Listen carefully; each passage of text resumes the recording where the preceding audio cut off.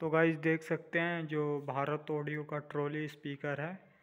ये limited stock है, आप देख सकते हैं, काफ़ी बड़ी मात्रा में जो है स्टॉक आ चुका है, और ये अलग अलग मॉडल हैं, ये एस एन सोलह सौ भारत ऑडियो जो बारह इंच में है,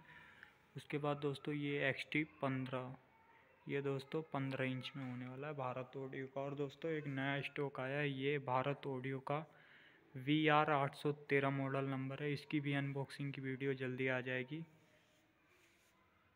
तो फ्रेंड्स जिसको भी इसकी नीड है, वो ज़रूर कॉल करें।